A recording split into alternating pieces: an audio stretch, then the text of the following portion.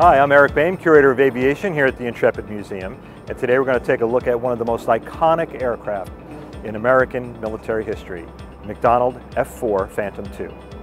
A direct follow-up to McDonnell's single-engine Demon, the Phantom was designed over 60 years ago to meet a specification for a high-performance carrier-borne fighter bomber. Though designed for the U.S. Navy, the Phantom II became one of the very first airplanes to be adopted by the other military services as well.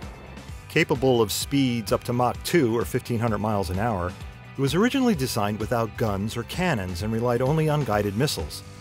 Designers were confident that Sparrow and Sidewinder missiles made cannons unnecessary. Guns were later added internally to U.S. Air Force versions, and the Navy added external gun pods. In addition to four AIM-9 Sidewinder and four AIM-7 Sparrow missiles, it could carry 18,650 pounds of various types of air-to-ground missiles, bombs, and rockets. The Phantom II, serving with U.S. Air Force, Navy, and Marine Corps squadrons in Vietnam, achieved legendary status, but the aircraft was too large and too heavy to serve aboard carriers of the Essex class like Intrepid.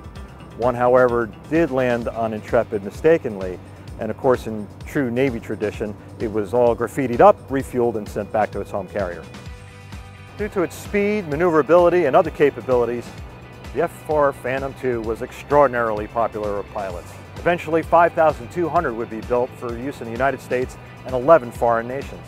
The experiences with the F-4 Phantom II laid the groundwork for the next generation of fighters, F-15s, F-16s, F-18s, and even the generation that would follow them, your F-22s and F-35s. For more behind-the-scenes videos, visit intrepidmuseum.org.